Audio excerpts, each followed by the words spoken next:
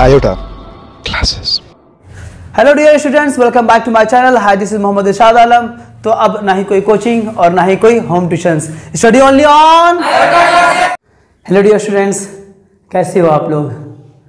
तो स्टूडेंट्स सबसे पहले तो मैं आप सभी को बहुत बहुत शुक्रिया कहना चाहूँगा।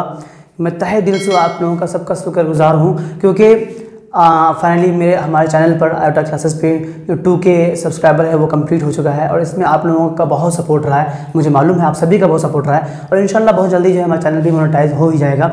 तो स्टूडेंट्स अब हम लोग इस वीडियो में बात करने वाले हैं, जो ये वीडियो है हमारा, ये ट्रायंगल के बारे में बात कर रहे हैं। आपको जो आपने थंबनेल्स पे देख ही लिया होगा टॉपिक्स देख ही लिया होगा कि, कि ट्रायंगल के इंट्रोडक्शंस के बारे में हम लोग बात कर रहे हैं। तो डियर स्टूडेंट्स इस एक वीडियो में मैं ट्रायंगल का बिल्कुल नीचे से उठा करके आपको ट्रायंगल के पूरा लास्ट तक का इंट्रोडक्शंस कंप्लीट करके देने वाला हूँ। क्योंकि मैक्सिमम स्टूडेंट का ये प्रॉब्लम होता है कि सर टेंथ क्लास में वो तो आ जाते हैं और जब मैं टेंथ क्लास में ट्रायंगल्स पढ़ाता हूँ उनके बेसिक्स के का फंडाई क्लियर नहीं होता है तो वहाँ पर जो है प्रॉब्लम आना स्टार्ट होता है। तो ये वीडियो आपको सेवन क्लास के जो के बच्चे अगर वो देखेंगे, उनके लिए इंपॉर्टेंट एट के लिए बहुत ज़्यादा इंपॉर्टेंट नाइन्थ के लिए तो इंपॉर्टेंट होगा ही, और टेंथ के लिए तो सबसे ज़्यादा इंपॉर्टेंट है। तो ये वीडियो सबके लिए खास होने वाला है। तो आज का जो टॉपिक है हमारा, वो है ट्राइंगल और ट्राइंगल में सबसे पहले देखेंगे हम लोग इंट्रोडक्शन और इसके बाद जो है हम लोग, आपको जो इसके बाद का जो वीडियो आएगा मेरा तो नाइन्थ क्लास के लिए ट्राइंगल का जो प्रॉपर्टीज़ जो प्रॉपर्टीज़ वगैरह है, वो मैं लाऊँगा। और टेंथ क्लास के लिए जो थेस थ्योरम है तो सेकंड वीडियो हमारा थियर्स थ्योरम के बारे में ही आएगा तो पहले हम लोग इसके बेसिक्स इसके इंट्रोडक्शन को जान लें। तो इसमें हम लोग सबसे पहले क्या क्या देखने वाले हैं इंट्रोडक्शन पार्ट में? तो सबसे पहले तो ट्राइंगल का डेफिनेशन देखेंगे देन उसके टाइप्स देखेंगे देन उसके सारे प्रॉपर्टीज़ कुछ प्रॉपर्टीज़ नहीं, कुछ अपन ने सेवन में पढ़ा, कुछ एट में पढ़ा, कुछ नाइन्थ में, कुछ टेंथ में तो सारे प्रॉपर्टीज़ की बात कर रहे हैं हम लोग। तो इस वीडियो को जो भी दिखेगा तो ट्राइंगल का सारा प्रॉपर्टीज़ उसके सामने होगा। तो प्रॉपर्टीज़ हम लोग सारे देख लेंगे देन उसके बाद जितनी भी ट्राइंगल्स के एरिया हैं तो उसका एरिया का क्या क्या फॉर्मूला होता है, वो सब भी सारा देख लेंगे, उसके बारे में भी डिस्कस करेंगे। देन हम लोग बात करेंगे क्या, कि ट्राइंगल के कॉन्ग्रेंट होने का, कि जब दो ट्राइंगल कॉन्ग्रेंट होगा तो कैसे कैसे होगा क्या क्या क्राइटेरिया है कॉन्ग्रेंट होने का तो कॉन्ग्रेंट के बारे में देख लेंगे। एंड देन जो लास्ट है हमारा, देखो कॉन्ग्रेंट आपका चैप्टर अब क्लास नाइन्थ का है तो क्लास नाइन भी कवर हो जाएगा। और इससे पहले जो मैंने बताया, वो सेवन और एट में था तो सेवन और एट भी कवर हो गया, फिर नाइन का भी हम लोगों ने कवर कर लिया। और एरिया वाला जो है, ये सेवन एट नाइन सब में है टेंथ में भी है तो वहाँ भी आपका कवर ये काम आ जाएगा। एंड देन लास्ट हम लोग बात करेंगे सिमिलरिटीज के बारे में, और सिमिलरिटीज पूरा का पूरा सिमिलरिटीज हमारा टेंथ क्लास में तो यहाँ से आपका टेंथ क्लास भी पूरा कवर हो जाएगा। ठीक है ना डियर स्टूडेंट्स अब हम लोग बात कर रहे हैं क्या? समझना इस बात को कि उसके डेफिनेशन तो सबसे पहला मैंने आपको बताया था डेफिनेशन के बारे में। तो चलिए सबसे पहले डेफिनेशन देखते हैं ट्राइंगल का। तो स्टूडेंट ट्राइंगल का डेफिनेशन देखिए अगर हम तो डेफिनेशन क्या है हमारा कि अ प्लेन फिगर कोई ऐसा एक plane figure a plane figure bounded by three line segment यानी कि कोई भी ऐसा प्लेन फिगर जो थ्री लाइन सेगमेंट से लाइन सेगमेंट से बाउंडेड हो हमारा then that figure will be called triangle तो फिगर हमारा ट्राइंगल कहलाएगा। देखो, जैसे कि थ्री लाइन सेगमेंट जैसे कि ये हो गया हमारा कि ये है ट्राइंगल हमारा है ना? तो ये ट्राइंगल अगर मैं इसका नाम डाल दूँ तो ए बी सी तो ये एक ट्राइंगल है हमारा। और देखो तो इसमें तीन लाइन सेगमेंट है। एक है हमारा ए बी दूसरा है बी सी और तीसरा है हमारा ए सी तो तीन लाइन सेगमेंट से हमारा एक क्लोज फिगर तो डेफिनेशन में एक बात याद रखना कि एक क्लोज फिगर को ही, जो कि तीन लाइन सेगमेंट से कंप्लीटली कवर होगा दैट इज़ कॉल्ड ट्राइंगल अब ट्राइंगल में देखो कुछ चीज़ें हैं, उसके बारे में जान लो। तो ये जो देख रहे हो ना, ये ये कहलाते हैं वर्टेक्स तो ए बी सी ये सारे क्या है? वर्टेक्स यानी कि टोटल तीन वर्टेक्स होंगे हमारे ट्रायंगल में, ये आपको मालूम ही है। देन तीन एंगल्स भी हमारे होते हैं ट्रायंगल में ए बी और सी, तीन एंगल्स होंगे, तीन साइड होंगे हमारे, एक, दो, तीन तीन साइड होगा हमारे ट्रायंगल में। तो ये सब चीज़ें थी ट्रायंगल के बारे में। अब देखो डियर हम लोग बात कर रहे हैं इसके प्रॉपर्टीज़ के बारे में। सो इसके टाइप्स के बारे में। तो पहले हम लोग टाइप्स देख लेते हैं। तो डियर टाइप्स जानने से पहले एक छोटा सा चीज़ हम लोग और जान लें कि ट्राइंगल को जो डिनोट किया जाता है तो ट्राइंगल को डिनोट किससे किया जाता है? तो ये देखो, ये है इस तरह से अगर हम लोग कहीं लिखा होगा तो समझ जाना कि इसका मतलब हो गया ट्राइंगल तो ट्राइंगल को इस तरह से डिनोट किया जाता है। बात समझ में आ गई डियर अब देखते हैं डियर के टाइप्स तो टोटल देखो डियर जो ट्राइंगल के टाइप्स हैं, वो दो टाइप्स के होते हैं. पहला होता है हमारा कि on the basis of side side के बेसिस पे हमारा ट्राइंगल का टाइप ये पहला हो गया. दूसरा होता है हमारा कि on the basis of angles तो देखो ये दोनों आपकी स्क्रीन पे आ रहे होंगे. तो मैंने लिख दिया है आपकी स्क्रीन पे ताकि आपको हेल्प हो जाए. तो on the basis of side समझना डियर स्टूडेंट्स कि on the basis of side हमारा अब हम लोग पहले on the basis of side के बारे में बात कर रहे हैं। तो on the basis of side में टोटल तीन तरह के ट्राइंगल होते हैं। अब वो तीन तरह के ट्राइंगल क्या क्या होते हैं? पहला होता है हमारा स्केलन ट्राइंगल ठीक है? दूसरा होता है हमारा क्या? कि आइसोस्केलस ट्राइंगल एंड तीसरा होता है हमारा इक्विलेटरल ट्राइंगल तो स्केलन ट्राइंगल क्या होता है? यानी कि ऐसा ट्राइंगल जिसका एक भी साइड आपस में इक्वल ना हो that is called scalene triangle समझो इस बात को? देखो, ये जो ट्राइंगल अगर मैं एक ऐसा ट्राइंगल लूँ तो ये ट्राइंगल कहलाएगा आपका स्केलन ट्राइंगल ये एक मैंने ट्राइंगल लिया है ए बी सी तो देखो, ये ट्राइंगल आपका एक एग्जांपल है स्केलन ट्राइंगल का, क्योंकि इसका जो साइड है आपस में इक्वल नहीं है. ये साइड ये साइड ये साइड तीनों साइड आपस में इक्वल नहीं होगा और ना ही तीनों एंगल्स भी इक्वल होंगे।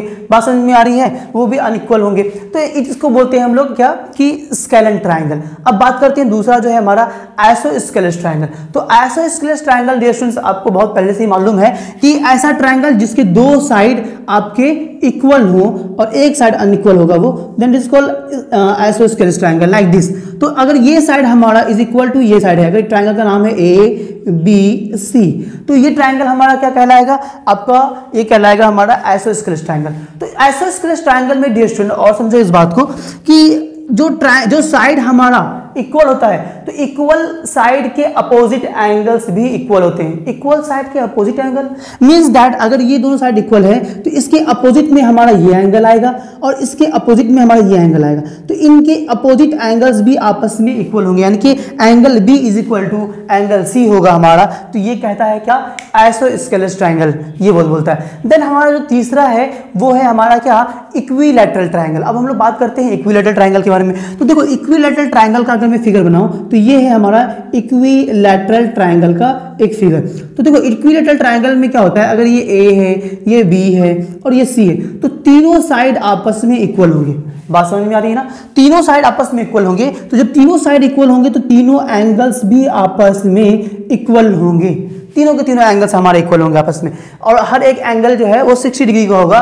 क्यों होगा? कैसे होगा? इसका प्रूव है, इसका डेरिवेशन है और ये नाइन्थ क्लास का है। और ये मैं जब नाइन्थ क्लास का नेक्स्ट वीडियो डालूँगा तो आपको वहाँ पर मिल जाएगा इसके बारे में। अभी हम लोग सिर्फ़ बात कर रहे हैं इंट्रोडक्शन पार्ट के बारे में तो उसमें मैं कुछ भी प्रूफ करके नहीं दिखा रहा हूँ। आपको मैं सिर्फ़ इंट्रोडक्शन दे रहा हूँ, पूरा का पूरा चैप्टर आपके सामने निचोड़ करके आपके सामने रख दे रहा हूँ। डियर स्टूडेंट्स अब हम लोग बात कर रहे हैं on the basis of angle जो हमारा सेकेंड टाइप था। तो सेकेंड टाइप पे बात कर रहे हैं। तो अब समझना इस बात को कि सेकेंड टाइप्स जो है हमारा ट्राइंगल का, कि on the basis of angle तो on the basis of angle में भी आपके तीन टाइप के एंगल होते हैं, तीन तरह के एंगल होते हैं on the basis of angle में.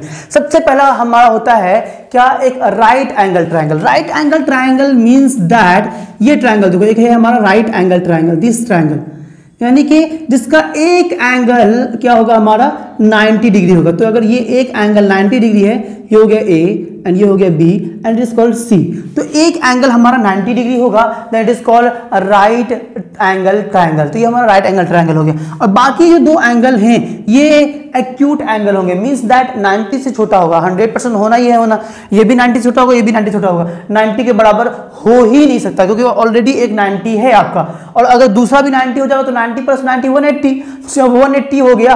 तो फिर क्या होगा? ट्राइंगल ही फॉर्म नहीं होगा। फिर तीसरा एंगल क्या होगा? Zero degree. तो ज़ीरो डिग्री हो ही नहीं सकता है हमारा, है ना? तो फिर ट्राइंगल फॉर्म ही नहीं होगा हमारा। इसीलिए तो ये पहला था हमारा क्या? कि राइट एंगल ट्राइंगल अब हम लोग बात करते हैं क्या दूसरा जो है कि एक्यूट एंगल ट्रायंगल के बारे में बात करें अच्छा राइट एंगल ट्रायंगल में डेढ़ अगर देखो, ये 90 डिग्री है तो ये हो गया हमारा बेस ये कहलाएगा बेस ठीक है? ये हो जाएगा बेस और ये कहलाएगा परपेंडिकुलर ये। तो ये हो गया बेस और ये हो गया परपेंडिकुलर क्लियर है डियर अब देखो सेकंड टाइप के बारे में बात कर रहे हैं। तो सेकंड टाइप का जो ट्रायंगल है डियर हमारा, वो क्या है? कि acute angle triangle acute angle triangle means that ऐसा ट्रायंगल जिसके हर एक एंगल लेस देन 90 डिग्री होंगे that is called acute angle triangle यानी कि तीनों तीनों एंगल लेस देन 90 डिग्री होगा. That is called acute angle triangle for example मैं आपको बता दूँ, जैसे कि देखो, ये एक हमारा ट्राइंगल है. ये एक ट्राइंगल तो ये ट्राइंगल को मैं बोल सकता हूँ कि हमारा एक acute angle triangle triangle A B C तो क्यों? क्योंकि देखो, ये भी एंगल 90 डिग्री से छोटा है. अगर सपोज़ मैं मान लूँ कि ये 60 डिग्री है और ये भी हमारा 90 से छोटा है. सपोज़ मैं इसको मान लूँ कि 70 है. तो ये वाला एंगल कितना हो जाएगा? ये एंगल 50 निकल जाएगा। क्योंकि सब सारे एंगल के सम कितने होते हैं? 180 होते हैं। तो इनको जोड़ेंगे तो 180 हो जाएगा हमारा। तो समझो इस बात को, एक 60 डिग्री है, एक 70 डिग्री है और एक 50 डिग्री तो सारे के सारे एंगल लेस देन 90 डिग्री तो अगर ये लेस देन 90 डिग्री है तो हम लोग इसको बोलेंगे एक्यूट एंगल ट्राइंगल एक सवाल और कुछ आता है कि, सर, अगर एक एंगल हमारा सपोज़ एक एंगल जो है, वो एट्टी डिग्री हो गया तो क्या होगा? क्या वो एक्यूट एंगल कहलाएगा? हाँ फिर भी वो आपका एक्यूट एंगल ट्राइंगल ही कहलाएगा। चाहे वो 90 डिग्री क्यों ना हो और या चाहे वो आपका अम, 90 से मतलब कि सॉरी 90 का 90 डिग्री और एटी नाइन मिनट्स अगर 59 मिनट भी ले लो। ठीक है ना? डिग्री के बाद मिनट आता है देन सेकंड भी आता है। तो अगर हमारा 89 डिग्री है और 59 मिनट एंड 59 सेकंड है सपोज़ तो भी उसको हम लोग बोलेंगे क्या कि वो हमारा एक्यूट एंगल है मीन्स वो एक सेकंड से जो है छोटा है, यानी कि लेस देन 90 तो लेस देन 90 रहा तो it is called acute angle triangle अब तो स्टूडेंट्स अब जो थर्ड हम लोग बात कर रहे हैं, वो बात कर रहे हैं ऑप्ट्यूज एंगल ट्राइंगल की। तो देखो ऑप्ट्यूज एंगल ट्रायंगल का फिगर भी आपको आ गया होगा। मीन देखो ऑप्ट्यूज एंगल ट्राइंगल में जो एक एंगल है आपका एक एंगल वो मोर देन 90 डिग्री होगा। तो एक एंगल आपका मोर देन 90 डिग्री होगा, बाकी दो एंगल्स छोटे होंगे, हमारे एक्यूट एंगल होंगे, दोनों के दोनों angles then it is called acute angle triangle suppose मैं एक आपको यहाँ भी एक बना के दे रहा हूँ कि जैसे कि ये एक ट्राइंगल है हमारा। तो ये एक ट्राइंगल है और ये ट्राइंगल हमारा क्या हो गया कि ये कहलाएगा एक्यूट एंगल ट्राइंगल यानी कि ए बी सी अब देखो, ये जो एंगल है हमारा डियर स्टूडेंट्स ये क्या है हमारा? मोर देन 90 है कि मैं इसको अगर 120 डिग्री मान लेता हूँ तो ये 120 डिग्री हो गया। और ये कितना होगा हमारा? तो ये इन दोनों का सम जो है, वो वन मतलब तीनों का सम जो है वन वन एट्टी के बराबर होगा। सपोज़ अगर ये 40 डिग्री है हमारा तो ये 20 डिग्री होगा। तो इनका सबका सम कितना हो जाएगा? 180 डिग्री हो जाएगा। तो देखो, ऐसे ट्रायंगल आपको कहलाएँगे क्या? ऑप्ट्यूज एंगल ट्रायंगल बात समझ में आ रही है डियर स्टूडेंट्स तो ये हो गया हमारे ऑप्ट्यूज एंगल ट्रायंगल अब हम लोग बात करते हैं, ये टाइप हो गया हमारा। अब आते हैं हम लोग डियर स्टूडेंट्स इसकी कुछ और चीज़ें हैं देन उसके प्रॉपर्टीज़ पे बात करेंगे। तो पहले वो देख लेते हैं और उसके बाद फिर प्रॉपर्टीज़ देखेंगे हम लोग। तो स्टूडेंट्स आप इसके प्रॉपर्टीज़ करने से पहले हम लोग सबसे पहले कुछ इसके टर्म्स हैं ट्राइंगल के कुछ टर्म्स हैं, वो टर्म्स हम लोग देख लेते हैं, जान लेते हैं इसके बारे में। जैसे कि पहला सबसे पहला हमारा टर्म है, क्या? मीडियन तो ट्राइंगल में मीडियन किसको बोलते हैं? ये हमें मालूम होना चाहिए। और मीडियन आखिर होता क्या है? देखो डियर अगर ये हमारा एक ट्राइंगल है, देखो, देखना कि अगर ये हमारा एक ट्राइंगल है, ये, ठीक है? तो मीडियन क्या कहलाएगा और मीडियन करता क्या है वो देख लो। तो ये है हमारा मीडियन यानी कि ट्राइंगल अगर ए बी सी ये हमारा ट्राइंगल है तो मीडियन कहलाएगा ये। देखो, ये कहलाएगा हमारा मीडियन मीन्स दैट जो अगर ये पॉइंट हमारा डी है तो समझना इस बात को कि मीडियन जो है बेस को दो इक्वल पार्ट में डिवाइड करता है। बेस को ना ही के एंगल को। एंगल को मत बोल देना डियर स्टूडेंट्स एंगल डिवाइड करता है, उसको एंगल बाइसेक्टर बोलते हैं। उसको एंगल बाइसेक्टर बोलते हैं। बात समझ में आ रही है ना? तो ये है हमारा मीडियन तो अब हम लोग पहले मीडियन के बारे में जान लेते हैं। जब अगर ए डी हमारा मीडियन हुआ तो जितना बड़ा बी डी है, उतना ही बड़ा डी सी होगा। यानी कि B D is equal to D C हो जाएगा। अगर हमारा डी जो है, वो मीडियन है तो B D is equal to D C हो जाएगा हमारा। बात समझ में आ रही है डियर स्टूडेंट्स तो ये हो गया हमारा मीडियन के बारे में। और एक बात और जानो, जब जब मीडियंस तीनों मीडियंस यानी कि जो आपके एक एंगल ए से निकला है, दूसरा अगर एंगल बी से निकला, देखो, ये हो गया हमारा दूसरा मीडियन ये इसका मीडियन हो गया। अगर नाम इसका मैं ई डाल दूँ, और ये तीसरा मीडियन देखो, ये हमारा थर्ड मीडियन निकला, ये वाला। ये तीसरा मीडियन है। तो ये अगर ये एफ़ है हमारा तो तीनों मीडियंस समझना डियर स्टूडेंट्स जहाँ पर कट करेगा जिस पॉइंट पर कट करेगा, अगर इस पॉइंट का नाम मैं जी मान लूँ तो ये जो पॉइंट है हमारा, ये सेंट्रॉइड कहलाएगा।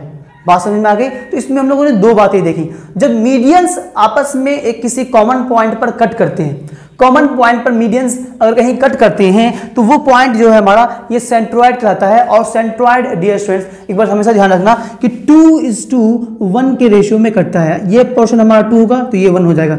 ये टू होगा तो ये वन ये टू होगा तो ये वन तो टू इज़ टू वन के रेशियो में सेंट्रॉइड आपका कट करता है। ये इसका यूजेज हैं। जब टेंथ क्लास का आप क्वेश्चन लगाओगे तो आपको सेंट्रॉइड के बारे में आएगा। तो ये हो गया। हम लोगों ने दो चीज़ें देख लिया। एक तो मीडियन दूसरा देख लिया हम लोगों ने सेंट्रॉइड के बारे में।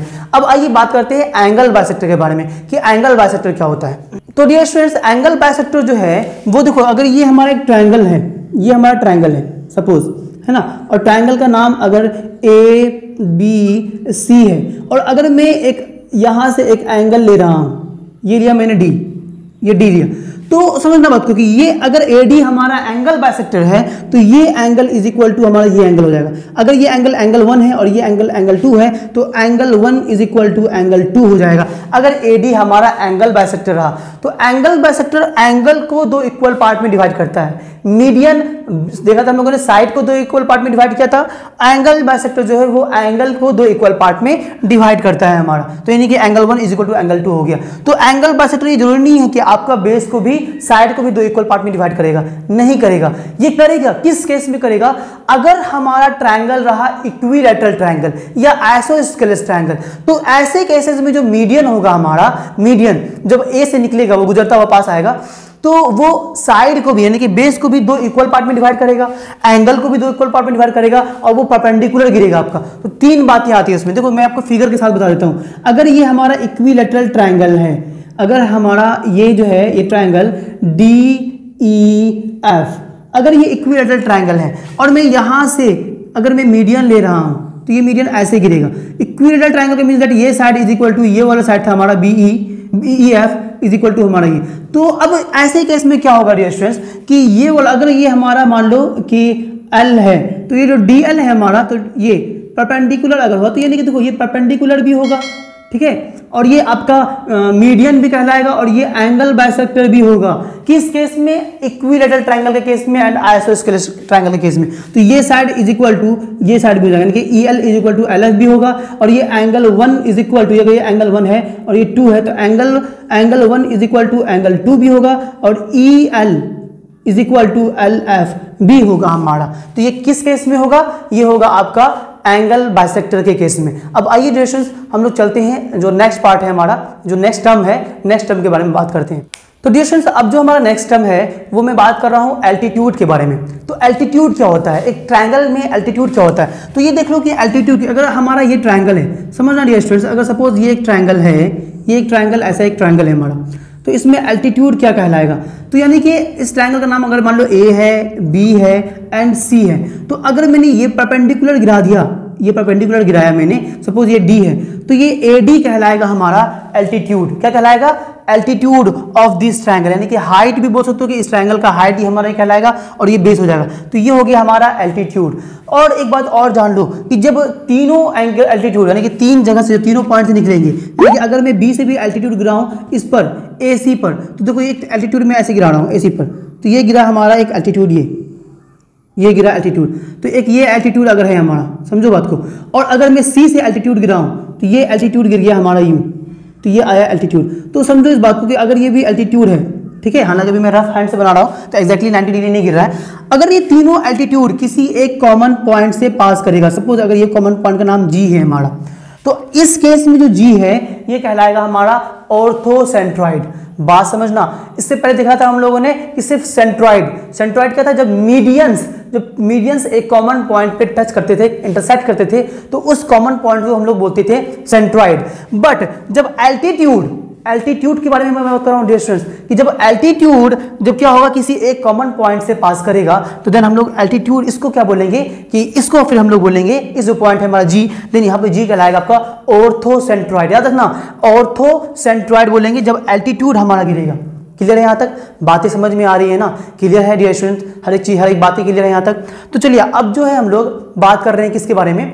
आ, इसके बाद वाले टर्म के बारे में बात करते हैं। डियर स्टूडेंट्स तो अब जो है हमारा जो नेक्स्ट पार्ट में आपको बताने वाला हूँ वो है हमारा क्या?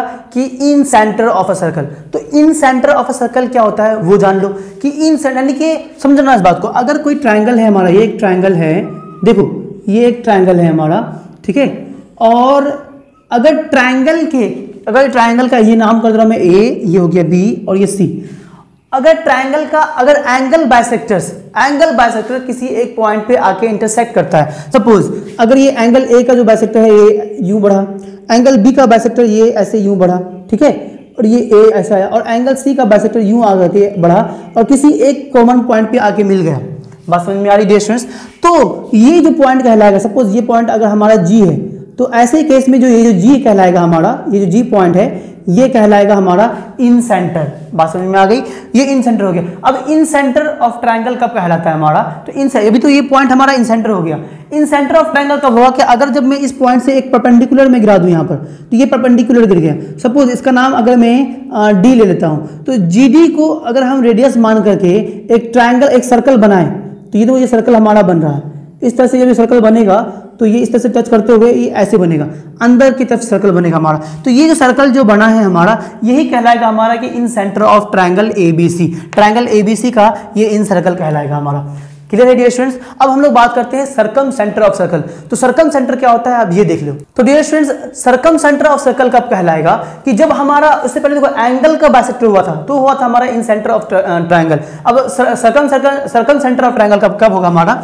देखो ये जब हमारा एक ट्रायंगल है अगर ये ट्रायंगल है हमारा कि ए बी सी अगर हमारा एक ट्रायंगल है, ठीक है डियर स्टूडेंट्स और अगर मैं साइड का बाइसेक्टर ले लूँ, यानी कि अगर मैं बीसी को बाइसेट करूँ तो सपोज़ ये पॉइंट मिला, मुझे मिल गया बाइसेट करने के बाद। एसी को बाइसेट करूँ तो ये हमारा निकल गया। और इसको बाइसेट करूँ, ये। यानी कि परपेंडिकुलर बाइसेक्टर अगर आपको लेना हो तो परपेंडिकुलर बाइसेक्टर लेंगे तो ये मैंने परपेंडिकुलर बाइसेक्टर ले लिया।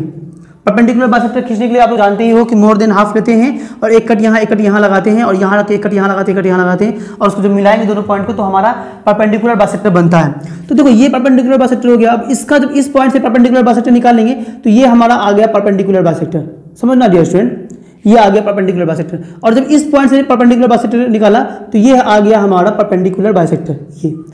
तो जो परपेंडिकुलर बाइसेक्टर जब आकर के किसी एक पॉइंट पे मीट करेगा तो ये कहलाएगा हमारा सरकम सेंटर ठीक है, ये सरकम सेंटर हो गया। और जब ये इसको मैं यहाँ से अगर मैं बी तक मिला दूँ, ठीक है? अभी देखो, ये वाला जो पॉइंट है हमारा जी तो ये पॉइंट जी जो है हमारा सर्कम सेंटर होगा। अब अगर मैं बी से जी को मिला दूँ और बी जी को रेडियस मानते हुए सर्कल बनाऊँ तो ये सर्कल कुछ ऐसा बनेगा। यानी कि तीनों पॉइंट को ट्रायंगल के तीनों पॉइंट को टच करते हुए एक सर्कल आपका ये बनेगा। Then this circle will call circumcentre of triangle बात समझ में आ गई डियर स्टूडेंट्स तो सर्कम सेंटर में जो सर्कल है वो बाहर की तरफ़ बनता है और इन सेंटर ऑफ़ ट्रायंगल में जो सर्कल है आपका ट्रायंगल के अंदर बनता है। तो ये कुछ टर्म्स थे आपके जो मैंने आपको बता दिया है। देन अब जो हम लोग इसके बारे में, इसके बाद बात करते हैं प्रॉपर्टीज़ ऑफ़ ट्रायंगल को देखते हैं कि ट्रायंगल की जितनी भी प्रॉपर्टीज़ हैं, वो सारे मैं आपके सामने रखने वाला हूँ। तो डियर स्टूडेंट्स अब जो हम लोग बात करने वाले हैं कि इसके कुछ प्रॉपर्टीज़ हैं ट्रायंगल के तो प्रॉपर्टीज़ के बारे में बात करते हैं। तो सबसे पहला प्रॉपर्टीज़ हमारा यही है कि the sum of all angle of a triangle is what 180 degree the sum of all angle of a triangle is what 180 degree यानी कि सारे एंगल का सम एक ट्रायंगल का, सारे एंगल का सम वो 180 डिग्री होगा। ये हमारा पहला प्रॉपर्टी है। तो यानी कि अगर हमारा ये ट्रायंगल है, समझो इस बात को, कि अगर ये हमारा एक ट्रायंगल है तो इस ट्राइंगल का ट्राइंगल का मैं नाम कर दे रहा हूँ ए बी एंड सी तो अगर ये हमारा ट्रायंगल है डियर स्टूडेंट्स अब समझना कि sum of all angle of a triangle is 180 degree means that अगर ये जो एंगल ए है angle A plus angle B plus angle C यानी कि angle A plus angle B plus angle C is equal to 180 degree होगा। तो ये आपका पहला प्रॉपर्टीज़ है। बात समझ में आ गया प्रॉपर्टीज़ में? ये पहला प्रॉपर्टीज़ है और ये बहुत इंपॉर्टेंट प्रॉपर्टीज़ है।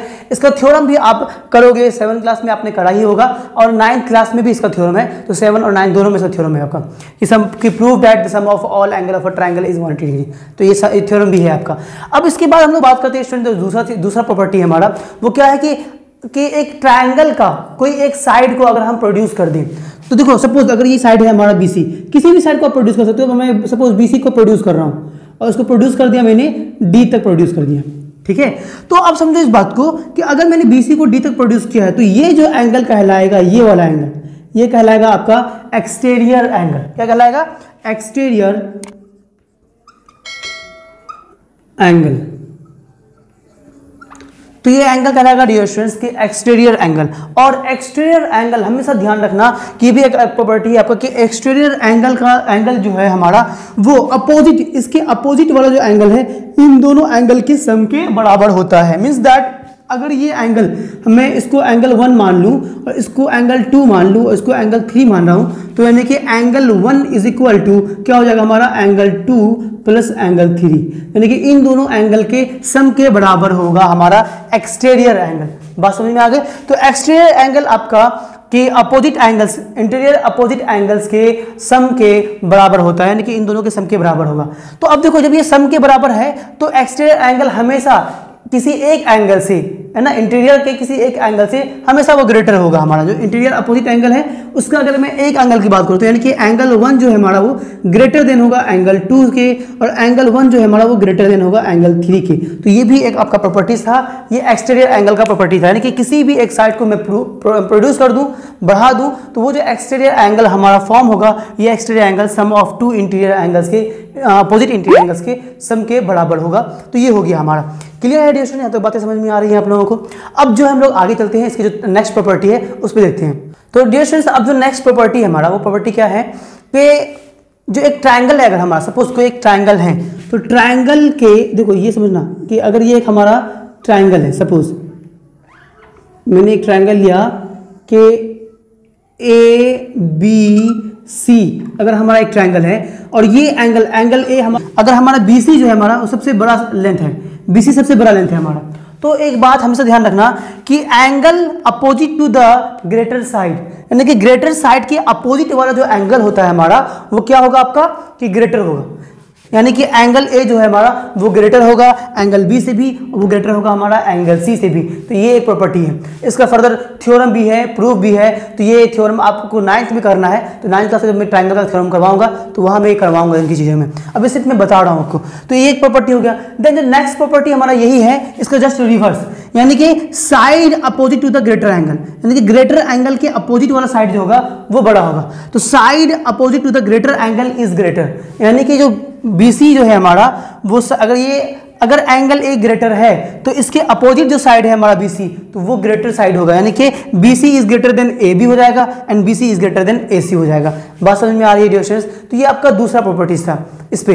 अच्छा अब इस पे एक और प्रॉपर्टीज़ और क्या बनता है कि the sum of two side is always greater than the third side means that क्या हो जाएगा हमारा कि ए बी प्लस ए सी अगर मैं ए बी प्लस ए सी कर दूँ तो ये ग्रेटर होगा हमारा बी सी के। और अगर मैं A B A B plus B C कर दूँ बी सी कर दूँ तो ये ग्रेटर होगा हमारा ए सी का ए सी का। एंड और और भी एक बन सकता है कि अगर मैं आम, ये बी सी बी सी और प्लस ए सी कर लूँ ए सी तो ये ग्रेटर होगा हमारा ए बी का। तो ये बातें जो है इसमें बोल रही हैं। ये क्लियर हो गया हमारा कि the sum of two side is always greater than the third side तीसरे साइड से हमेशा बड़ा ही बनेगा।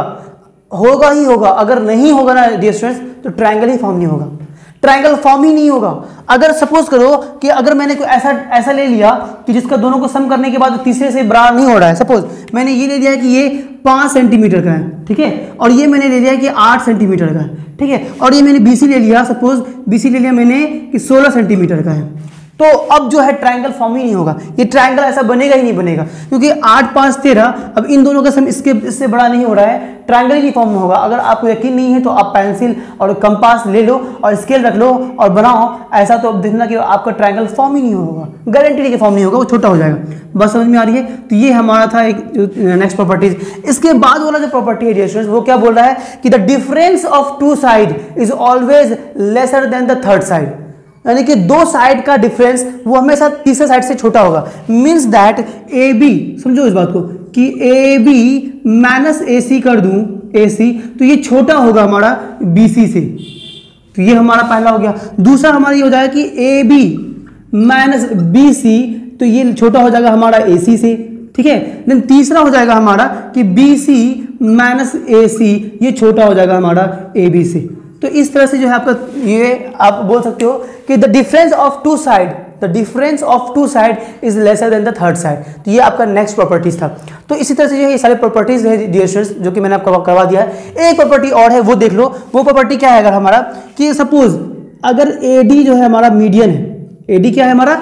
मीडियन है। तो समझना इस बात को। देखना the sum of two side is greater than the twice of the median means that अगर कोई दो साइड लो कोई दो साइड सपोज़ अगर मैं एक साइड ले रहा हूँ ए बी और दूसरा साइड ले रहा हूँ बी सी तो A B plus B C A B plus B C ठीक है? A B plus B C is greater than ये बड़ा होगा हमारा कि ट्वाइस ऑफ़ मीडियन यानी कि एडी एडी को दो गुना कर दो, उससे भी बड़ा होगा आपका। तो ये तीसरा है हमारा स्पिक तो एक तो हमें समझ में ये आया कि the sum of two side is greater than the third side तीसरे साइड से बड़ा होगा। दूसरा हमारा क्या कि the difference of two side is lesser than the third side ये दूसरा हो गया। तीसरा हमारा ये होगा कि the sum of any two side of a triangle is greater than the twice of the median median के ट्वाइस से बड़ा होगा हमारा. This is the third property of this triangle तो डियर स्टूडेंट्स अब जो हम लोग बात करने वाले हैं, वो एरिया ऑफ़ ट्रायंगल्स के बारे में बात कर रहे हैं। यानी कि हर ट्रायंगल का कैसे कैसे क्या एरिया है, उसके बारे में देख लेते हैं। तो डियर स्टूडेंट्स सबसे पहले हम लोग बात कर रहे हैं कि एरिया ऑफ़ ट्रायंगल यानी कि जो बेसिक फॉर्मूला है हमारा एरिया ऑफ़ ट्रायंगल आपको मिल रहा होगा, आ रहा होगा अभी डिस्प्ले पे कि area of triangle is equal to half into base into height तो अगर किसी ट्रायंगल का मुझे हाइट मालूम हो, किसी भी ट्रायंगल का, दुनिया का कोई भी ट्रायंगल है सपोज़ कोई भी ट्रायंगल चाहे वो एसोस्केलेस हो स्केलन हो इक्वलिटल ट्रायंगल हो कोई सी ट्रायंगल हो उसका अगर मुझे हाइट मालूम है अगर ये हाइट एडी मुझे मालूम है गिवन है तो हम इस एरिया इसका हाइट और बेस गिवन है। ये दो चीज़ें गिवन है, एक हाइट और दूसरा उसका बेस अगर गिवन है तो हम उस ट्रायंगल का एरिया निकाल सकते हैं। तो पहला हमारा क्या हो गया कि half into base into height ठीक है? देन दूसरा है हमारा क्या जनरल फॉर्मूला एक और भी है, वो है हिरोन्स फॉर्मूला हिरोन्स ने ये फॉर्मूला को ड्राइव किया था डिस्कवर किया था। फर्दर इसके बारे में पूरा का पूरा डिस्क्रिप्शन है आपको। मेरे आप जब प्ले में जाएँगे तो प्ले में देखना कि डेरिवेशन नाम से एक प्ले होगा। वहाँ पर मैंने सारे ट्रायंगल का ड्राइव किया है ड्राइव करके बताया है। तो ज़रूर उस वीडियो को देखना। तो हर एक फॉर्म ट्रायंगल का एरिया कैसे आया है, ये मैंने वहाँ पर दिखाया है। वहाँ से आपको देख सकते हो। तो अब देखो कि हीरोन्स फॉर्मूला जो है हमारा नेक्स्ट आपका है। यानी कि वो क्या बोलता है कि अगर हमें किसी भी ट्राइंगल का तीन साइड हमें गिवन है, तीन साइड गिवन है तो हम जो है एरिया आराम से निकाल सकते हैं। तो एरिया क्या होता है हमारा कि area is equal to root under S into S minus A into S minus B into S minus C ये हमारा है हीरोन्स फॉर्मूला तो अब देखो, समझा, समझना इस बात को कि एस ये एस क्या है? तो एस है हमारा सेमी पेरीमीटर ऑफ़ ट्राइंगल यानी कि ट्राइंगल का सेमी पेरीमीटर यानी कि एस जो है एस इज़ इक्वल टू हो जाएगा पेरीमीटर हमें मालूम है कि ट्राइंगल का पेरीमीटर क्या होता है? पहले ये जान लें। तो पेरीमीटर ऑफ़ ट्राइंगल होता है सम ऑफ़ ऑल साइड यानी कि A B plus B C plus A C ये कर लेंगे तो ये हमारा पेरीमीटर होता है। तो एस हो गया आपका semi perimeter S is equal to semi perimeter. Semi perimeter हो गया एस सेमी पेरीमीटर का फॉर्मूला हमारा देखो डियर स्टूडेंट्स यानी कि वन बाय टू सेमी में होता है आधा। तो वन बाय टू पेरीमीटर मैंने वही बताया था कि A B plus B C plus A C यानी कि A B plus B C plus A C तीनों साइड का सम उसका आधा कर देंगे तो हो जाएगा हमारा सेमी पेरीमीटर तो ये सेमी पेरीमीटर हो गया। तो यहाँ से हमें मालूम चल गया कि हीरोन्स फॉर्मूला जो है, वो भी एरिया निकालने के लिए यूज़ करते हैं। कब? जब हमारा के तीनों साइड अगर गिवन है तो हम आ, क्या करेंगे वहाँ से एरिया निकाल लेंगे यानी कि एरिया इसका टू हो जाएगा हमारा S into S minus A into S minus B into S minus C का होल का रूट पूरे पर रूट लगा देंगे तो ये हो जाएगा हमारा एरिया ऑफ़ हीरोन्स फॉर्मूला का एरिया निकल जाएगा। अब यहाँ ए और बी और सी क्या है?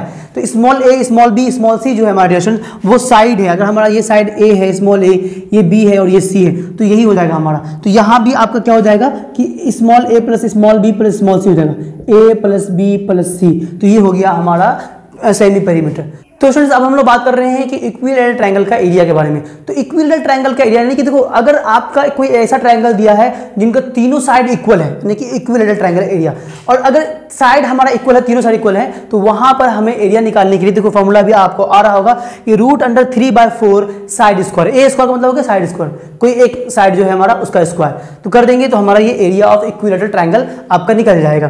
क्लियर डिस्टेंस और फर्दर इस इक्विलेटरल ट्रायंगल का हाइट जो आप देख रहे हो कि एडी जो आपका हाइट है।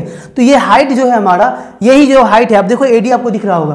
तो ये जो हाइट है, इसका फॉर्म जो फॉर्मूला होता है, यानी कि ये हाइट निकालने का जो फॉर्मूला होता है, वो होता है कि root under three by two into A into side side से मल्टीप्लाई कर देंगे root three by two by A कर देंगे सॉरी इंटू ए कर देंगे तो हमारा क्या निकल जाएगा? हाइट निकल जाएगा इस ट्रायंगल का। अब देन नेक्स्ट हम लोग बात कर रहे हैं एसो स्केलस ट्रायंगल का एरिया निकालने का। ये लास्ट है हमारा। तो एसो स्केलस ट्रायंगल का एरिया जो होता है डियर स्टूडेंट्स वो होता है हमारा क्या? कि b by four into root under four A square minus B square तो ये हो गया हमारा क्या? कि इसका एरिया किसका एरिया आइसो स्केलेस ट्रायंगल का एरिया तो स्टूडेंट हम लोगों ने एरिया के बारे में बात कर लिया पूरा, है ना? और हम लोगों ने पेरीमीटर्स भी देख लिया ट्रायंगल के.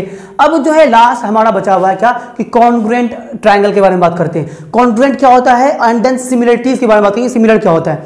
तो कॉन्ग्रेंट ट्रायंगल डियर स्टूडेंट्स आपको नाइन्थ में इसको पूरा ब्रीफ में पढ़ना है। और मैं इसका सारा वीडियो जब डालूँगा तो हर एक चीज़ के बारे में डीपली मैं आपको ज़रूर बताऊँगा।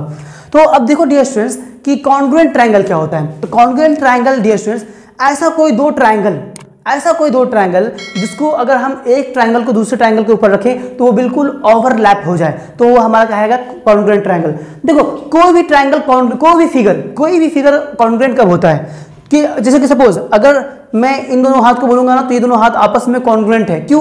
कि अगर मैं इनको अगर ऐसे इसके ऊपर रख दूँ तो ये कंप्लीटली ओवरलैप हो रहा है। मीन्स दैट अगर इसका आप फ्रंट व्यू देखोगे तो आपको पीछे वाला हैंड नहीं दिखेगा। और इसको अगर मैं इधर से पलट दूँ तो आपको इसके पीछे वाला हैंड नहीं दिखेगा। तो हम लोग बोलेंगे ये दोनों आपस में क्या है? कॉन्ग्रेंट है। बस समझ में कि एक कंप्लीट ओवरलैप कर जाए तो वो हमारा कॉन्ग्रेंट कहलाएगा। एक सर्कल कॉन्ग्रेंट कब होगा? जैसे कि फाइव रुपीज़ का कॉइन है। तो अगर मैं दो five rupees coin same coin coin coin जो है, वो ले लूँ तो हम कहेंगे कि दोनों क्वाइन क्या आपस में कॉन्ग्रेंट है। तो ये हो गया कॉन्ग्रेंट बात समझ में आ रही है? तो इसी तरह से आपका जो है ट्राइंगल कॉन्ग्रेंट कब होगा? यानी कि दो को ट्राइंगल है। सपोज़ अगर हमारा एक ये ट्राइंगल है, देखना, एक ये ट्राइंगल है हमारा कि ए बी सी और अगर मान लो कि ये फाइव ये फाइव है, और ये सिक्स सेंटीमीटर का है। ये फाइव सेंटीमीटर ये सिक्स सेंटीमीटर और ये एट सेंटीमीटर का है। और दूसरा ट्राइंगल मैंने लिया ये ट्राइंगल देखो देखना डियर स्टूडेंट्स मैंने एक ये ट्राइंगल लिया और इसका नाम मैं डाल रहा हूँ यहाँ से कि डी ई एफ़ ठीक है डियर स्टूडेंट्स मैं नाम इधर से क्यों लिया हूँ? अभी आपको मालूम चल जाएगा, मैं बता रहा हूँ। और मैंने इसको ले लिया है फाइव इसको ले लेते हैं सिक्स सेंटीमीटर ये हो गया फाइव सेंटीमीटर ये हो गया हमारा एट सेंटीमीटर तो हम लोग बोलेंगे ये दोनों ट्राइंगल आपस में कॉन्ग्रेंट है, मगर जब ये कॉन्ग्रेंट होगा तो इसको हम लिखेंगे कैसे? तो ये ऐसे लिखाता है कि triangle A B C is congruent congruent का साइन ये है हमारा। कॉन्ग्रेंट टू ट्राइंगल अब डी ई एफ़ मत लिख देना। बिल्कुल वैसे ही सीक्वेंस में लिखेंगे, जैसे कि हमारा है। देखो, यहाँ से अगर मैं ए बी लूँ तो ए बी कितना है? आपका पाँच है। तो पाँच यहाँ पर हमारा कौन सा है? वो ई e एफ़ है। तो हम लोग लिखेंगे ट्राइंगल ई एफ़ अब देखो, अगर मैं यहाँ से बी सी लेता हूँ साइड तो बी सी कितना है? हमारा छः। तो देखो एफ़ डी भी जो है हमारा, अगर ई एफ़ डी लूँगा तो डी एफ़ डी भी जो है हमारा वो छः आ रहा है। तो ये बिल्कुल सही है। और अगर मैं यहाँ से ए सी लूँ ए सी साइड ए सी तो ए सी देखो, अगर मैंने ऐसे लिया है तो इसको भी मैं ऐसे लूँगा। यानी कि ईडी e भी मेरा आठ होना चाहिए। तो ईडी e आठ है? हाँ है। तो नेमिंग भी बिल्कुल सोच समझ के करना है। बिल्कुल क्रॉसपॉन्डिंगली जो है आपको नेमिंग करना है। इसका खासा ख्याल रखना है कॉन्ग्रेंट में। और जब दो ट्राइंगल आपस में डियर स्टूडेंट कॉन्ग्रेंट हो जाता है ना तो इसके क्रॉसपॉन्डिंग साइड्स इक्वल हो जाती है। Corresponding sides mean that A B is equal to E F हो जाएगा B C is equal to F D हो जाएगा and A C is equal to E D हो जाएगा हमारा। बस समझ में आ गया डियर स्टूडेंट जब कोई दो ट्राइंगल आपस में कॉन्ग्रेंट होता है तो वो दोनों के साइड्स जो हैं क्रॉसपॉन्डिंग साइड्स इक्वल हो जाते हैं, पहली बात तो ये। और दूसरी बात ये कि कॉरस्पॉन्डिंग एंगल्स भी इक्वल हो जाते हैं। मीन्स दैट एंगल ए जो है हमारा वो एंगल ई e के बराबर हो जाएगा एंगल बी जो है हमारा वो एंगल एफ़ के बराबर हो जाएगा, और एंगल सी जो है हमारा वो एंगल डी के बराबर हो जाएगा। तो ये इतनी सारी बातें आएँगी आपको कॉन्ग्रेंट्स में। फर्दर कॉन्ग्रेंट्स में और भी बहुत सारी चीज़ें पढ़नी है, बहुत डीपली पढ़ना है हमें। तो जब मैं कॉन्ग्रेंट चैप्टर नाइन्थ क्लास में एक चैप्टर ही है आपका कॉन्ग्रेंट के बारे में तो जब वहाँ पढ़ेंगे तो वहाँ आपको मैं ज़रूर बताऊँगा। फर्दर मगर ये बात ज़रूर ध्यान रखना डिएशन ये बहुत इंपॉर्टेंट है कि ट्राइंगल का नेमिंग नेमिंग इसके अकॉर्डिंगली ही करना है आपको तो इसका खासा ख्याल आपको रखना है। ठीक है डिएशन अब बात करते हैं सिमिलर के बारे में। तो सिमिलर क्या है? सिमिलर होता है कि बिल्कुल एक जैसा तो हो, मगर शेप एंड साइज़ जो है, वो इक्वल नहीं हो, नहीं होगा तो कोई दिक्कत नहीं। उससे कोई फ़र्क नहीं पड़ता है। मतलब बिल्कुल उसके जैसा दिखने में हो। मगर कॉन्ग्रेंट में हम लोगों ने देखा था कि उसका शेप एंड साइज़ हर एक चीज़ बिल्कुल सेम होना चाहिए। तो हम लोग कहेंगे कि दो फिगर जो है आपस में कॉन्ग्रेंट होगा। बात समझ में आ रही है ना? दो फिगर आपस में कॉन्ग्रेंट कब होगा? जब उनका शेप एंड साइज़ बिल्कुल सब कुछ सेम होगा। ठीक है? तो हम जो कहेंगे कि वो, आपका क्या है? दोनों फिगर कॉन्ग्रेंट है। दो ट्रायंगल कॉन्ग्रेंट कब होगा? जब इसके corresponding sides and corresponding angles जब इक्वल हो जाएँगे तो हम लोग कहेंगे क्या? कि दोनों ट्रायंगल आपस में कॉन्ग्रेंट है। अब सिमिलर के बारे में आते हैं। तो सिमिलर देखो, एक जैसा हो, मगर ज़रूरी नहीं कि बिल्कुल वैसा ही हो। फॉर एग्ज़ाम्पल मैं आपको बता रहा हूँ कि जैसे कि एक हो गया हमारा वन रुपीज़ का कॉइन बड़ा वाला कॉइन और एक हो गया हमारा फाइव रुपीज़ का कॉइन छोटा वाला कॉइन तो दोनों देखने में गोल है। देखो, दोनों देखने में एक जैसा है, एक बड़ा वाला है और एक छोटा है, दोनों देखने में सर्कल नहीं है, दोनों सर्कल है। मगर ये दोनों आपस में कॉन्ग्रेंट नहीं कहलाएगा, ये दोनों आपस में सिमिलर कहलाएगा। कॉन्ग्रेंट कब होता? जब दोनों एक जैसा होता है, यानी कि जितना अगर मान लो कि इसका रेडियस आपका दो सेंटीमीटर है और दूसरा सर्कल मैंने और लिया, इसका भी रेडियस दो सेंटीमीटर है तो हम लोग बोलेंगे कि ये दोनों सर्कल आपस में कॉन्ग्रेंट है। बट इसका रेडियस एक सेंटीमीटर है, एक सेंटीमीटर तो ये दोनों सर्कल आपस में सिमिलर है कॉन्ग्रेंट नहीं है। तो सेम केस आती है ट्रायंगल के केसेस में, कि ट्रायंगल में दो फिगर सिमिलर कब कहलाएगा? तो देखो, ये अगर हमारा एक ट्रायंगल है, ये अगर ऐसा ट्रायंगल हो गया हमारा और दूसरा ट्राइंगल हमारा ये छोटू ट्राइंगल है, ठीक है? एक बड़ू ट्राइंगल एक छोटू ट्रायंगल इसको मैं नाम देता हूँ ए बी सी यानी हो गया डी ई एफ़ तो अब देखना डियर स्टूडेंट समझना इस बात को कि हमारा जब, अभी तो दोनों जो ट्राइंगल है, ये हमारा सिमिलर है, क्योंकि इसके कॉरस्पॉन्डिंग एंगल्स इक्वल होंगे। अगर मान लो कि 60 डिग्री है, ये आपका 70 डिग्री है, और ये 50 डिग्री है तो ये भी आपका 60 डिग्री होगा। ये भी आपका 70 डिग्री होगा और ये भी 50 डिग्री होगा। यानी कि क्रॉसपॉन्डिंग एंगल्स तो इक्वल होंगे, मगर साइड जो है साइड जो है हमारा, वो बिल्कुल इक्वल नहीं होगा। तो हम लोग कह सकते हैं आराम से कि दोनों ट्राइंगल आपस में सिमिलर है बट कॉन्ग्रेंट नहीं है। तो ये बात हमेशा ध्यान रखना डियर और डियर एक बात और ध्यान रखो कि अगर दो ट्राइंगल आपस में कॉन्ग्रेंट हैं तो दोनों का एरिया भी इक्वल होगा। दोनों का एरिया 110 परसेंट इक्वल होगा। अच्छा एक बात और जान लो इसमें। सिमिलरिटीज में एक बात और कि जब दो फिगर आपस में सिमिलर हो जाते हैं तो इसके कॉरस्पॉन्डिंग एंगल्स इक्वल होंगे, मगर कॉरस्पॉन्डिंग साइड्स का रेशियोज इक्वल होता है। Means that A B by D E is equal to B C by E F is equal to A C by D F तो क्रॉसपॉन्डिंग साइड्स का ratios ये equal होता है जब दो ट्राइंगल आपस में सिमिलर होता है। बात समझ में आ गई? तो ये सिमिलर केस में था। बट कॉन्ग्रेंट ने केस में देखा था कि मेरे कॉरस्पॉन्डिंग साइड्स बिल्कुल इक्वल हो जाता है। यानी कि A B is equal to ये हो जाएगा, ये इज़ इक्वल टू ये ये इज़ इक्वल टू ये हो जाएगा। जब कॉन्ग्रेंट होगा तब। सिमिलर के केस में साइड्स जो है कॉरस्पॉन्डिंग साइड्स का रेशियोज वो इक्वल होते हैं। बात समझ में आ रही है? तो मैं बता रहा था आपको कि जब दो ट्रायंगल आपस में कॉन्ग्रेंट होते हैं तो उन दोनों का एरिया 110 परसेंट के इक्वल होगा। मगर अगर कोई ट्रायंगल ऐसा है कि जिसका दोनों दोनों का एरिया इक्वल है सपोज़ एक ट्रायंगल हमारा ये, मैं इसको इरेज कर रहा हूँ। एरिया इक्वल है और मैं बोलूँगा कि क्या दोनों ट्राइंगल कॉन्ग्रेंट होगा तो ये ज़रूरी नहीं है। सपोज़ एक ट्राइंगल है आपका यू ये एक ट्राइंगल है, ठीक? और दूसरा ट्राइंगल है ये हमारा, ये दूसरा ट्राइंगल है। दोनों का एरिया सेम है। जितना एरिया ये, अगर ये 20 स्क्वायर यूनिट है तो ये भी 20 स्क्वायर यूनिट बात समझ में आ गई? 20 स्क्वायर यूनिट दोनों का एरिया सही है सेम है बट दोनों ट्राइंगल कॉन्ग्रेंट नहीं कहलाएगा। बात समझ में आ रही है? और तीसरा, इसमें एक चीज़ और आता है कि अगर दो ट्राइंगल आपस में सिमिलर हैं और दोनों का एरिया भी इक्वल है तो हम लोग बोलेंगे दोनों ट्राइंगल का, दोनों ट्राइंगल भी कॉन्ग्रेंट होगा। समझो इस बात को। दो ट्राइंगल हैं और दोनों सिमिलर हैं। यानी कि एक ट्राइंगल हमारा ये ए बी सी और दूसरा ट्राइंगल हमारा ये, ठीक है? ये हो गया हमारा दूसरा ट्राइंगल डी ई एफ़ अगर मैं बोलूँ कि दोनों ट्राइंगल सिमिलर है और दोनों का एरिया भी आपका जो है ट्वेंटी ही है ट्वेंटी स्क्वायर यूनिट ठीक? इसका भी ट्वेंटी स्क्वायर यूनिट तो अगर दो ट्राइंगल आपस में सिमिलर भी हो जाए, यानी कि ट्राइंगल जो है हमारा A B C is similar तो सिमिलर का साइन है. सिमिलर टू हो जाए ट्राइंगल डी ई एफ़ तो हम लोग बोलेंगे कि दोनों ट्राइंगल जो है हमारा और सिमिलर हो जाए और एरिया भी इक्वल हो जाए, कि area of triangle A B C is equal to area of triangle area area of triangle D E F दोनों इक्वल हो जाएगा। तो ये दो केस अगर आ गया तो हम लोग बोलेंगे दोनों ट्राइंगल जो है, वो कॉन्ग्रेंट भी हो जाएगा। तो therefore triangle A B C triangle A B C is congruent to triangle D E F ये हो जाएगा हमारा। बात समझ में आ गई स्टूडेंट्स क्लियर है ना? अच्छा अब कॉन्ग्रेंट में एक बात और है। तो सीधा ये आपको कॉन्ग्रेंसी और सिमिलरिटी में दोनों को साथ में बता रहा हूँ आपको। अब देखो डियर स्टूडेंट कॉन्ग्रेंट में एक बात और है कि अगर दो ट्राइंगल आपस में कॉन्ग्रेंट होता है तो पाँच क्राइटेरियाज हैं। टोटल पाँच क्राइटेरिया पाँच क्राइटेरिया है जिसमें क्या होता है कि ट्राइंगल आपस में सिमिलर होता है। टोटल पाँच क्राइटेरिया पहला क्राइटेरिया है आपका सास सिमिलर होने का मतलब कॉन्ग्रेंट होने का। तो दो ट्राइंगल कॉन्ग्रेंट होगा तो पहला क्राइटेरिया है हमारा सास, यानी कि S A S side angle side पहला क्राइटेरिया ये है। दूसरा क्राइटेरिया है हमारा कॉन्ग्रेंट प्रूफ करने का ASA A S A angle side angle तीसरा क्राइटेरिया है हमारा कि ए ए एस यानी कि एंगल एंगल साइड और चौथा क्राइटेरिया है ड्यूरेशन हमारा कि एस एस एस यानी कि साइड साइड साइड अगर तीनों साइड भी, अगर दो ट्राइंगल का, दो ट्राइंगल का तीनों साइड इक्वल है तो हम लोग बोलेंगे दोनों ट्राइंगल कॉन्ग्रेंट है. और पांचवा, जो लास्ट हमारा वो है आर एच एस यानी कि right angle hypotenuse and side अगर दो ट्राइंगल हो रहा, आपका राइट एंगल ट्राइंगल रहा। तो हमारे ये पाँच क्राइटेरिया है जिससे जो हम लोग दोनों ट्राइंगल को कॉन्ग्रेंट प्रूव कर सकते हैं। इसके बारे में अभी आप ज़्यादा मत सोचो। जब ये चैप्टर आपको करवाऊँगा कॉन्ग्रेंसी वाला चैप्टर तो इसमें बहुत अच्छे से बताना है मुझे। तो ये सारी चीज़ें थी डियर स्टूडेंट्स जो कि मैं ट्राइंगल से रिलेटेड वो मैंने आपको बता दिया है। सिर्फ़ इंट्रोडक्शन पार्ट था तो मैंने आपको पूरा का पूरा इंट्रोडक्शन दे दिया है।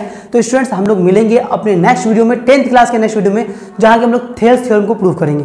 पहला हो गया हमारा थ्री को प्रूव करेंगे। और नाइन्थ क्लास का जब मैं वीडियो लाऊँगा तो स्टूडेंट वहाँ पर जो है मैं क्या करूँगा कि प्रॉपर्टीज़ जो है, हमारा सबसे पहला प्रॉपर्टीज़ है थ्योरम है प्रूफ करने के लिए तो वो मैं थ्योरम प्रूफ करूँगा।